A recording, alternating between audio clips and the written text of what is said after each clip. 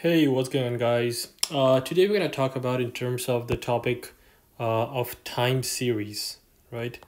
Uh, now we are taking a look at different models out there, the linear regression, the multiple linear regression, and so on. Uh, now we're going to be taking a look at in terms of time series models, right? So what a time series is, is going to be in terms of if there is a kind of variable uh, is measured over time. So let's say, you know what, we want to find out uh, PE, which is uh, price over earnings of a firm, right? I mean, so PE uh, can be a factor of if you were to uh, create some kind of a time series model per se, we can say, hey, you know what, uh, maybe price over earnings uh, depends on something like sales, right? Uh, it could be based on uh, probably something like the consumer price index, right? It could be based on, say, GDP, right? And so on. So what we're trying to take a look at is uh, at a particular time. So let's say, you know what, we consider as a certain month, say month January of say 2019, uh, what were these numbers? And then say, hey, you know what, at February 2019, uh, what were these numbers? And then we'll get some kind of a value for PE, right? So this is going to be based on a time series model because at a particular time, uh, we will take a look at what the sales numbers are, what the CPI is, what GDP is. So at maybe in January, we look at all of this and we'll come up with a number. At February, we'll look at all of this for February and then we'll come up with a number. So that way we'll get uh, something called as a time series models. All right, so uh, it's a variable which is going to be depending on time.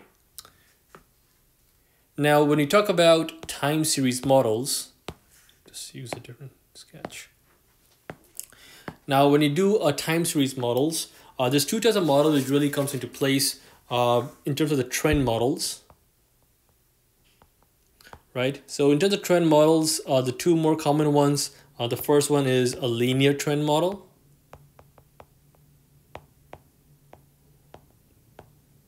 Uh, and the next one that we look at is in terms of something called as a log linear trend model.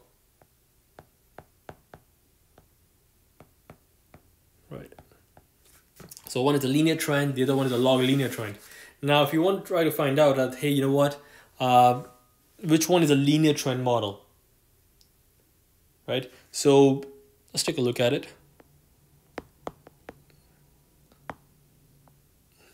So a linear and a log linear trend model.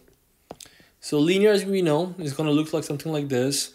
A log linear would look something like this right?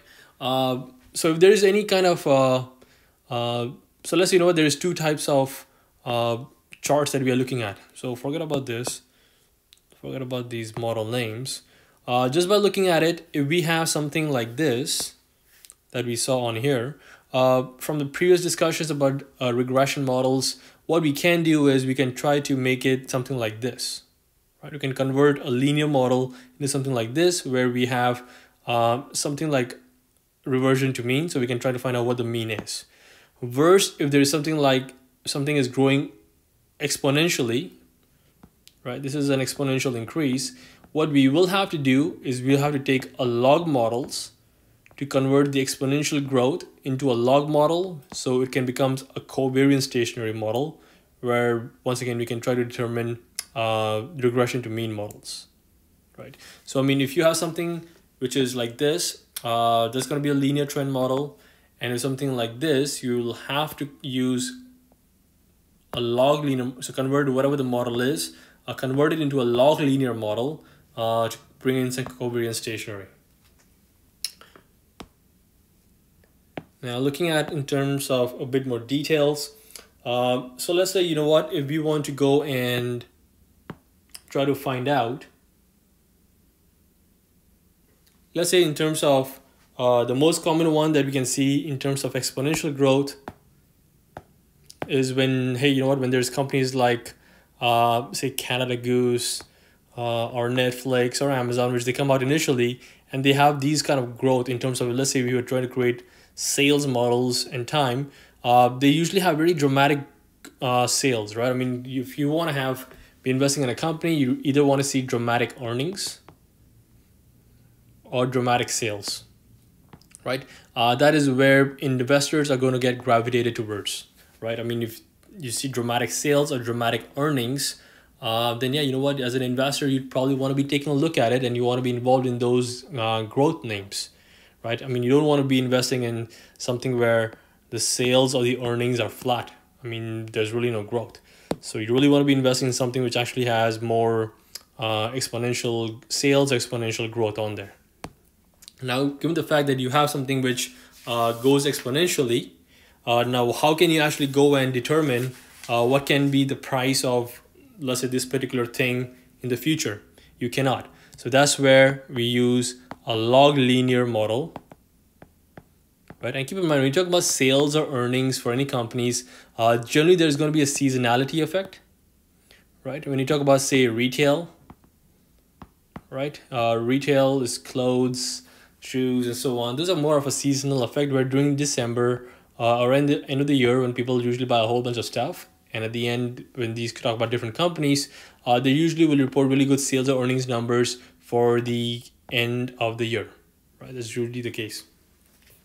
Now when you have two different models uh, if you have something which uh, is growing exponentially we use a log linear model right? Because we're trying to find based on the regression model that we talked about uh, we try to find something called as a covariance stationary right? Covariance stationary means we convert these models these two kind of models uh, into something that we can understand and we can predict right? So something a model like this is called a covariance stationary because now there is this is going to be the mean right? This is the mean. And then you know what? Sometimes the sales can be up sometimes sales can be down sometimes sales can be up but at the end of the day you know what? It reverts back to mean so we can know what the mean is, then we can predict the future.